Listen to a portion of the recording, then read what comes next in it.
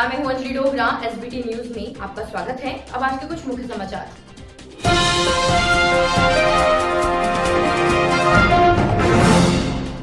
महात्मा बसेश्वर जयंती के अवसर पर नगर निगम की ओर से प्रतिमा पूजन संपन्न हुई, देखेंगे।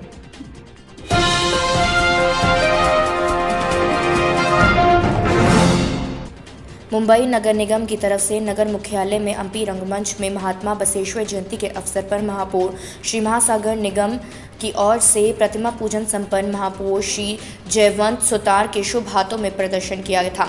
इस अवसर पर नगर पालिका आयुक्त डॉक्टर रामास्वामी एन हॉल नेता श्री रविंद्र अथेवे पूर्व महापौर और नगर सेवक श्री सुधाकर सोनवड़े, अतिरिक्त आयुक्त श्रीमान अंकुश चौहान और श्री रमेश चौहान, मुख्य लेखा विविध अधिकारी श्री धनराज गरद, डिप्टी कमिश्नर श्रीमान श्री तुषार पवार, खेला उपायुक्त श्रीमान नितिल काले, शिक्षा अधिकारी श्रीमान संदीप सांगवे, साथ ही साथ अन्य अधिकारी कर्मचारी भी मौजूद थे।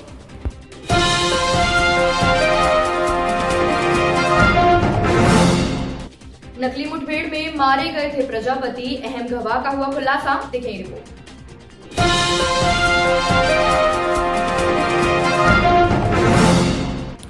सोहरबुद्दीन एनकाउंटर मामले में एक अहम गवाह ने बुधवार को विशेष अदालत में बताया था कि सोहरबुद्दीन के सहयोगी तुलसीराम प्रजापति को गुजरात और राजस्थान पुलिस ने फेक एनकाउंटर में मारा था।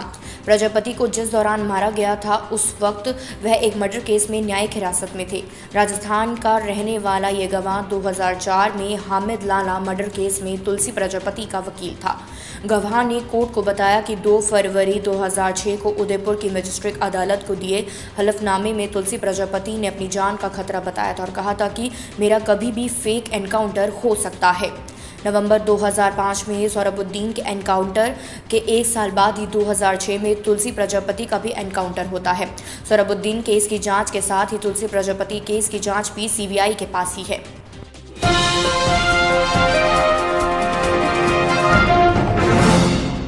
चुनाव में बढ़ने वाले थे 2000 के नकली नोट सात करोड़ के जब्त, देखिए।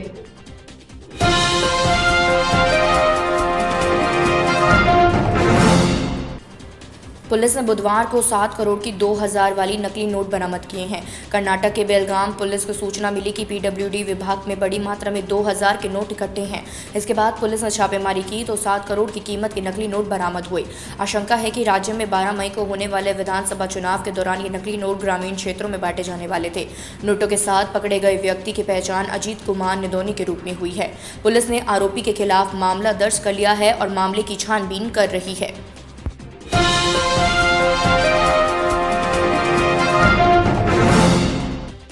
दिन भर की कुछ खास खबरें मेरे यानी अंजलि डोगरा के साथ। एसबीटी न्यूज़ सब्सक्राइब करें हमारे चैनल को। धन्यवाद।